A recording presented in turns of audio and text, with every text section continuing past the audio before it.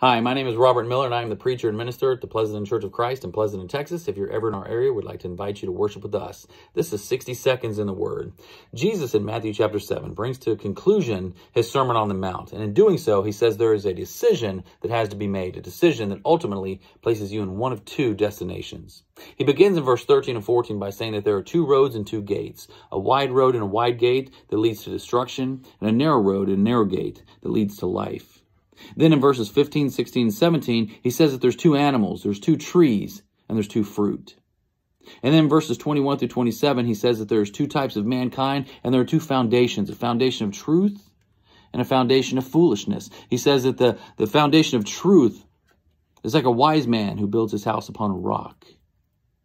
And then those who are lawlessness, those who practice lawlessness, who are disobedient, who are like a foolish man who placed their house on a house of sand. Ultimately, though, he is pleading with you. He is petitioning you to be obedient to him, to choose life, to choose obedience. The decision is yours.